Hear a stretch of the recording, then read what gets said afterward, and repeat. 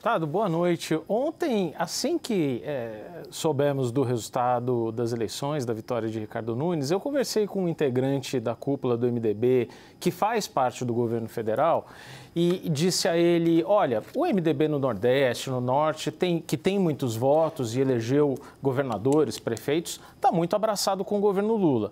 Mas você teve ali, é, na vitória de Ricardo Nunes, todo um grupo ali que está, digamos, até com uma dívida com o Tarcísio de Freitas, que foi quem pegou Ricardo Nunes pelo braço e carregou mesmo na campanha. Então, meu raciocínio foi, ora, é, esse MDB tem quase ali uma dívida de gratidão com o Tarcísio Nunes que é, faz com que o partido se aproxime dessa possível candidatura, caso seja é, a escolha de Tarcísio de Freitas seguir para a eleição em 2026, né?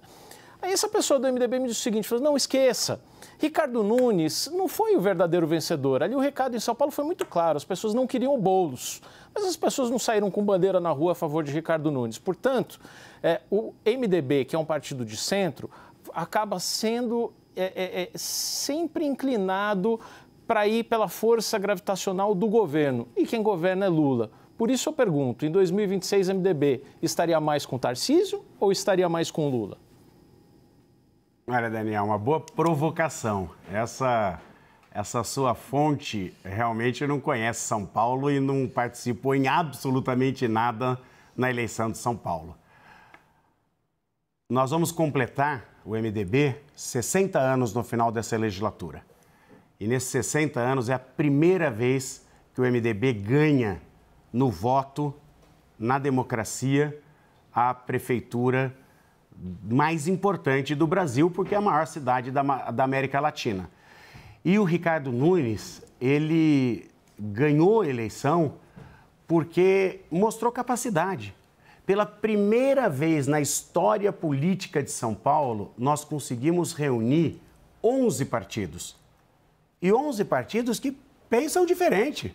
Nós temos, na nossa aliança, que foi é, é, articulada é, pelo Ricardo Nunes e com a minha contribuição, Paulinho do Solidariedade e o Tibé do Avante, que tem uma posição mais de centro, de centro-esquerda, ao passando pelo PSD, pelo Republicanos, pelo União Brasil e chegando ao PL. Então, nós fizemos aqui uma verdadeira frente ampla, né? Falam-se tanto em frente ampla, a verdadeira frente, frente ampla foi é, realizada em São Paulo e com um projeto claro de gestão, de política pública, de entrega. Então, essa vitória eh, em São Paulo, ela é sim histórica em, eh, no Brasil. Né? Nós temos que reconhecer, claro que existe uma gratidão ao governador Tarcísio de Freitas. Tarcísio foi extremamente importante nessa vitória.